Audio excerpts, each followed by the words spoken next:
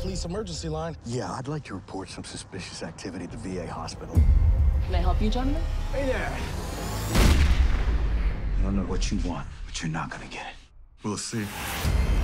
Chief, there's been an assault on VA 33. This man is a terrorist. I am revenge.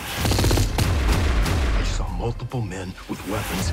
Something is going on here. People are gonna die. They know you're there? No. We have a guy out here. This guy's being a real pain.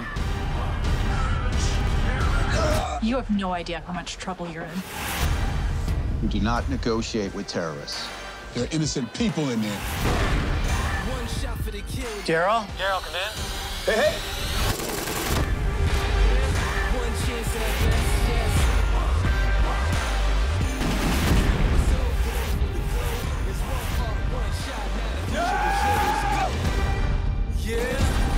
This world.